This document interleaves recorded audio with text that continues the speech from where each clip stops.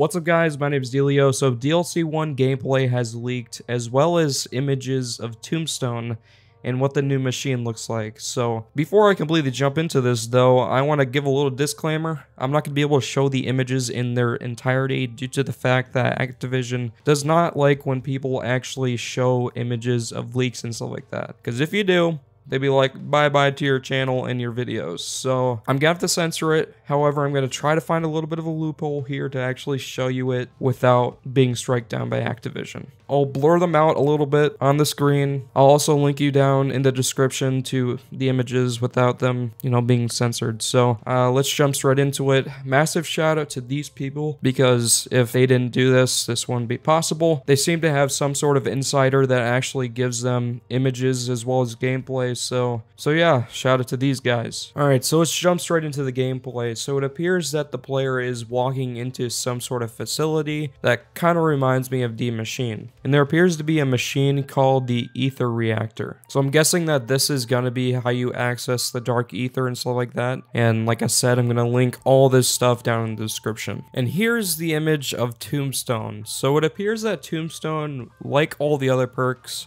kind of got a makeover this year. It kind of resembles its old self in terms of shape and size. It's a really different design though, with eagle wings and etching and a yellow body. I like that they're giving all these perks a new aesthetic in this game. Keeps everything fresh in my opinion. And here's another gameplay image of the map. The map kind of has some sort of ruck sort of style to it, in my personal opinion. That's what it kind of reminds me of. And it appears one of the people who's actually going to be talking to us in the map through the comms is Sergei Ravenov, which is one of our new characters in Firebase Z. I imagine Weaver is also going to be one of those people who speak to us in this map once again. So yeah, ladies and gentlemen, that was this video. Hope you guys enjoyed it. If you guys did and you want to see some more videos on the channel, make sure to drop a like. I'm currently on the road to a thousand subscribers, so if you guys want to help out, hit the subscribe button, turn notifications, and never miss a video when I upload it. Like I said, everything's down in the description if you guys want to check it out. And yeah, Thanks so much for watching, and I hope you all have a wonderful day.